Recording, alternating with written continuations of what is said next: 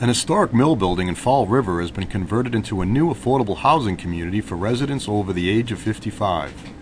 The ribbon was recently cut for the Curtain Lofts, a 97 apartment housing community developed by Winn Development.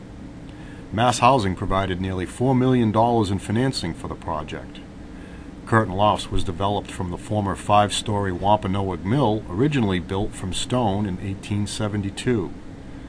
Curtain Lofts will be honored next month by Preservation Massachusetts as a great example of how our mid sized cities can rehabilitate their existing historical fabric to meet current and future needs while preserving an important part of its past.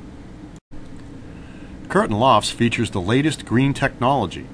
It has 87 one bedroom units and 10 two bedroom units that feature chef quality kitchens with granite counters and oversized windows preserved from the original mill building. Curtain Lofts also features open space and a dog park for its residents.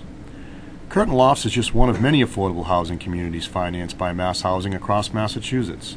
For more information about Mass Housing, please visit masshousing.com.